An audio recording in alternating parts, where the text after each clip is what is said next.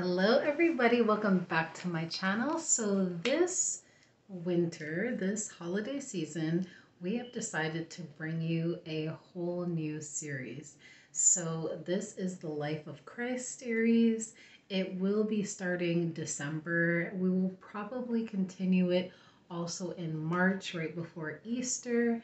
But this month, I am so extremely excited to bring this series to you the Life of Christ series.